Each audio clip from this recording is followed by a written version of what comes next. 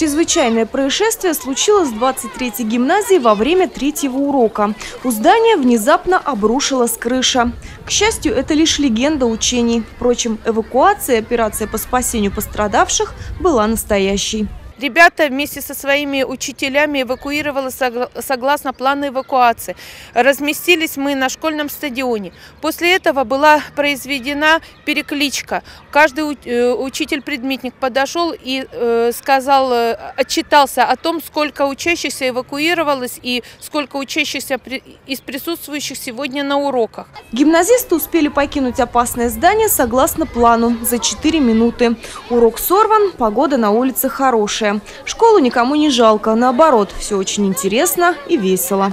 Потому что все не по-настоящему, а в другую школу не нужно будет переходить. И еще интересно что-нибудь новое узнать о технике безопасности во время пожара.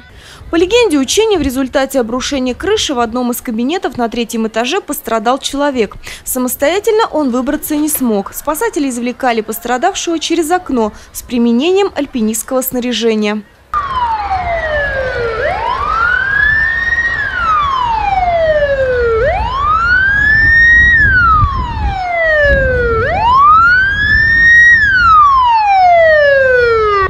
Второй этап – ликвидация последствий серьезного ДТП. Из автомобиля доставали пострадавшего в бессознательном состоянии.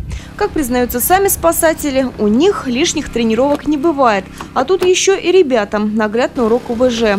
Когда несчастья случаются в реальности, эвакуировать большое скопление людей быстро не всегда получается.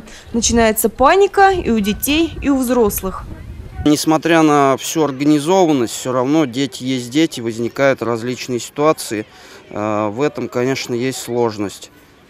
Э, ну, так в основном остальное все нарабатывается временем и ну, слаженностью работы коллектива, поэтому больших э, сложностей не возникает. Настоящих происшествий с привлечением пожарных и спасателей в 23-й гимназии за последние годы не было.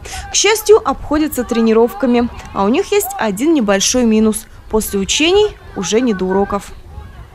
Елена Белова, Андрей Семиволков, РТВ Иванова.